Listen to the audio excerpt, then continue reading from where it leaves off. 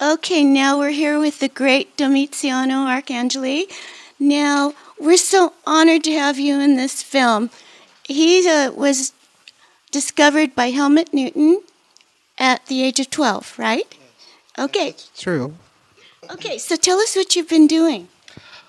I've been um, I've been working a lot. Actually, it's funny that this movie tells about distributors and because besides being an actor, I've been a producer as well for the past uh, six, seven years actually.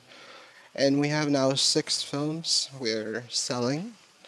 I've been having meetings all day yesterday, and uh, now this is a spoof, of course, but I think Steve's uh, point of view is uh, quite on when he says distributors can be very, very difficult these days. Uh, no matter what you do and uh, what's the extent of the production or what the quality is, it doesn't matter. Uh, we always have. Uh, uh, it's never. It, it, should be a cooperation because making a movie should be a, a labor of love.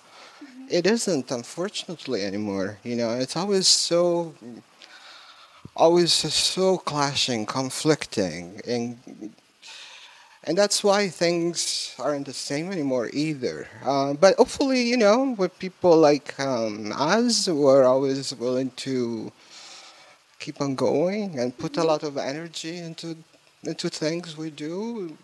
Well, you're always working, but tell me about your character in in Natural Born Filmmaker. I played this uh, guy, Giovanni Giandini, who's, um, you know, uh, some uh, person who has supposedly a Craigslist ad on, on a paper. That's probably one of the uh, tricks they use. In fact, uh, the young filmmakers will be connected to him. They'll go to the meeting and they'll find out that he's a guy from the mob.